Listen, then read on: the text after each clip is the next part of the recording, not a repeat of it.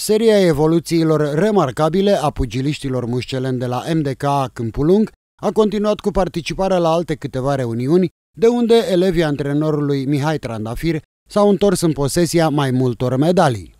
În pofida condițiilor de pregătire pe care le putem cataloga la un nivel minimal, pugiliștii mușceleni se pregătesc cu multă dăruire și abnegație, iar când participă la competiții demonstrează că reprezintă un club care se impune pe zi ce trece în peisajul pugilistic românesc. Despre participarea la ultimele două reuniuni ne-a vorbit antrenorul Mihai Trandafir. Am avut uh, o competiție la Cernavodă, uh, intitulată cu Centura Campionilor, unde au fost 5 sportivi, uh, cu rezultate chiar foarte bune, 4 de uh, medalii de aur și una de argint. Uh, iar săptămâna trecută am fost la Cluj, la Bobârna, invitați de doamna Valentina Silaghi, la tot o competiție uh, unde au fost participanți șase sportivi, tot cu rezultate foarte bune, uh, chiar sunt mândru de ei, mulți și debutanți și vechi, și sperăm că în continuare să avem aceleași rezultate și la celelalte competiții. Am văzut că unul dintre sportivi a fost uh, a, a avut o evoluție extraordinară uh, în dispută cu un mare boxer. Uh, da, este vorba de Alexandru Alex Liță, uh, cadetul meu de la 40 de kilograme. El a avut un meci mai greu, aș putea să spun, cu vicecampionul uh, de la categoria 38, medaliat cu argint, și a câștigat. Uh, un meci greu, dar disputat. Uh, copilul a boxat foarte inteligent, păcălindu-l și trofeul a ajuns la el, de locul întâi. Ce... Ceea ce îmi pune mari speranțe pentru campionatul național uh, care se va desfășura în toamnă. Mult mai emoționat în fața camerei de filmare decât în ring, Alex ne arată fericit trofeul câștigat la Bobâlna și ne dezvăluie și care sunt dorințele sale în plan sportiv. Alex, tu ești performerul delegației. Cât de greu ți-a fost?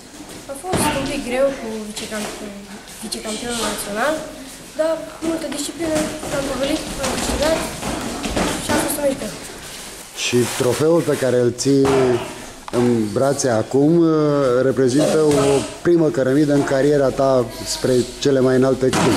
Da. Ce-ți propui să, să realizezi anul ăsta?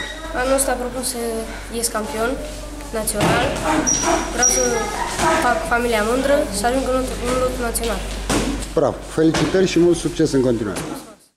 Dincolo de participările la diverse competiții în plan național, antrenorul Mihai Trandafir are satisfacția de a pregăti un sportiv care, cel mai probabil, va reprezenta România la campionatul mondial. Spre bucuria mea, uh, acum câteva zile am primit uh, telefon de la federație și inclusiv de la antrenorul coordonator pentru sportivul nostru, Denis, uh, campionul de anul trecut de la 92 de kg, fiind convocat la lotul național în pregătire pentru campionatul mondial. Copilul a mai fost și în primăvară la lotul național, dar a avut și ghinion, având o accidentare la picior, neputând să ducă la campionatul european. Dar i s-a oferit din nou o șansă și acum cu Dumnezeu înainte și sperăm să, să nu mai avem ghinioane, în primul rând. Și să-l vedem acasă cu o medalie. O medalie mondială. Da, o medalie mondială care va reprezenta foarte mult în cariera lui și atât și, sportiv. Și nu în ultimul rând în palmaresul clubului. Și nu, da, bineînțeles, în palmaresul clubului, în palmaresul uh, Câmpulungului. N-am mai avut un copil la lot, uh, Câmpulungul cred că de ani de zile, n-am mai avut un campion de ani de zile. Ce să mai discutăm? Pentru mine este o bucurie. Felicitări și succes uh, Mulțumim și avem de muncă pentru campionatele care vor urma începând din luna septembrie, patru campionate importante. Cadeți, juniori, tineret și seniori, unde Câmpul Lungu va fi reprezentat la toate cele patru campionate. Sportivii de la clubul mușcelan MDKA Câmpul Lung se pregătesc intens cu gândul la confruntările din cadrul campionatului național, având și imboldul dat de selecția colegului lor la lotul național al României, acolo unde orice sportiv își dorește să ajungă cândva. Urmărind evoluțiile tinerilor pugiliști mușceleni, iubitorii sportului cu mănuși nădăjduiesc să retrăiască momentele fericite pe care numele mari din boxul mușcelen le-au oferit cu ani în urmă.